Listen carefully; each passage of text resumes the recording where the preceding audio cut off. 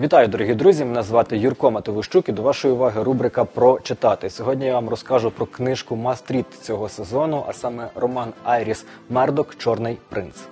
Ви знаєте, вперше взявши до рук цю книжку, я дещо не зрозумів, тому що е, починається вона з передумови видавця, який заявляє про те, що автор цієї книжки, саме головний герой, вже наразі мертвий. І спочатку від цієї передумови не зовсім зрозуміло, як буде розгортатися історія. Але потім ми бачимо різноманітну життєву колізію головного героя цієї книжки Бредлі Пірсона. На початку все складалося досить плавно і що головне планово, тому що головний герой цієї книжки, зокрема, не надто популярний письменник Бредлі Пірсон, який видав всього навсього дві книжки у своєму житті, намагається написати третю. Він колишній чиновник на пенсії, і зрештою він зав'язує е, певні стосунки з е, своїм колегою е, Арнольдом Бафіном, який також є письменником не надто талановитим, але більш успішнішим ніж головний герой цієї книжки. Зрештою, він намагається якось планувати своє життя, і він хоче відпочинку. Що найголовніше, він хоче залишити Лондон і, зрештою, помандрувати в якесь дуже тихе місце, аби написати зрештою свою третю книжку. Але не сталося як гадалося, і розпочинаються в його житті різноманітні, різноманітні колізії, пов'язані е, з колишніми знайомствами, теперішніми знайомствами і тим, що його чекає у майбутньому. Ви знаєте, інколи читаючи будь-яку книжку, дуже часто ми бачимо стандартну історію любовного трикутника. Серйозно, у цій книжці ми можемо говорити про п'ятикутник, але не любові, тому що в даному випадку між людьми, між е, різноманітними е, героями цієї історії зав'язуються події, які вони з одного боку називають коханням і якимись взаєминами, але які під собою практично ніколи не мають жодного підґрунтя. Зокрема, також е, головного героя Бредлі Пірсона зустрічають різноманітні історії, і ми бачимо подвійні стандарти у, е, у його оточенні, оточенні його знайомих та друзів. Він також е, з минулого е, до нього приїжджає фактично його колишня дружина, яка також чомусь хоче з ним зав'язати знову ж таки якісь відносини, але насправді е, поводиться неначе енергетичний вампір. Історія про е, ще одних головних героїв, зокрема сім'ю Бафін Бафінів, е, зокрема Арнольда та його дружину. Це ще одна окрема історія, тому що вони за- загалом його використовують в якихось своїх лише публічних е, функціональних становищах, але насправді ніколи з ним не бувають щирими. І в даному випадку між ними виникають різноманітні е, цікаві колізії та історії. А що найголовніше, це те, що головний герой цієї історії, зрештою, на 57-річному віці закохується у 20-річну доньку свого друга Арнольда Бафіна.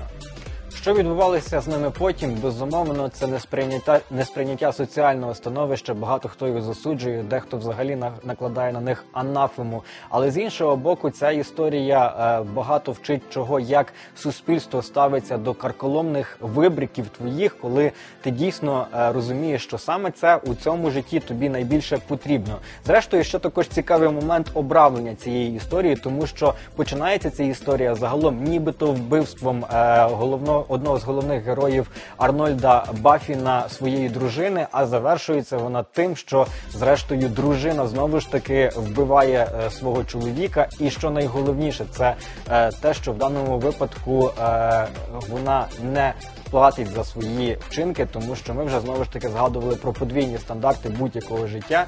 І що найголовніше, вона досить кра- красномовно вміє брехати, як і зрештою майже усі герої е, цього твору. І більше того, е, читаючи цю книжку, ми до кінця віримо головному герою цієї книжки Бредлі Пірсону. І що найголовніше, я дуже хвалю зараз Айріс Мердок за це, тому що віримо ми в цьому герою впродовж усієї книжки. А в кінці ми дійсно самі сумніваємося стосовно того, а чи не вбив він свого друга, чи дійсно все відбувалося таким чином. Тому в даному випадку тут відзначаю велику майстерність е, саме е, авторки, як вона сформулювала і показала е, головні перипетії цієї книжки. І що найголовніше, головною темою цієї книжки, на мою думку, є саме історія людських стосунків, людських взаємин і те, наскільки ми буваємо нещирими у своїх діяннях до оточуючих. Дуже цікавими у цій історії також є другорядні персонажі, зокрема. як вже згадувана е, колишня дружина Бредлі Пірсона Кристина, а також е, ще її брат е, Френсіс Марло, який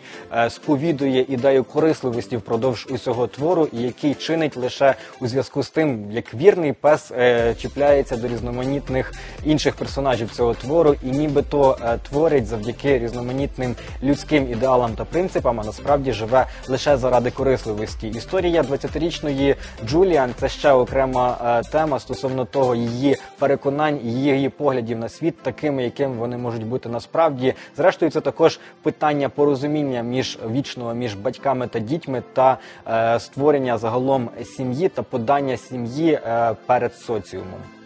Скажу чесно, ця книжка тримає за своїм сюжетом та стилем написанням від першої до останньої сторінки, і головне, я досить раджу її прочитати, тому що е, схожої до цієї книжки я до цього не бачив в українських перекладах. Тому безумовно, чорний принц це мастріт цього сезону. Але з іншого боку, також не можу е, до цієї цієї бочки меду не дати ложки дьогтю, тому що е, деякі пасажі стосовно перекладу цієї книжки залишають бажати кращого, тому що, наприклад, в деяких реченнях ми можемо зустріти е, те, коли мав бути присутній родовий відмінок, е, присутній називний. Наприклад, він був е, чудовий письменник, а не він був чудовим письменником. От такі речі інколи роблять виямки е, і е, незрозумілості в тексті. Ти ніби спотикаєшся впродовж цього тексту. Тут привіт, в принципі, перекладачці. Але з іншого боку, ще раз скажу, що якщо не зважати на цей момент, ця книжка просто чудова, і я її безумовно раджу до прочитання. Чорний принц Айріс Мердок. Її вартість складає близько 280